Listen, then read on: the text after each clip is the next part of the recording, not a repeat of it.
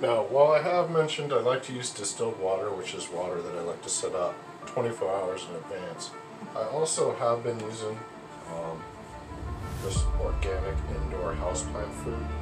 Um, I think it has helped tremendously. Um, so the way I mix it is, now I don't mix this with the water that I'm, before it's completely distilled. I wait 24 hours for my water to be distilled. Then I pour it into my water here.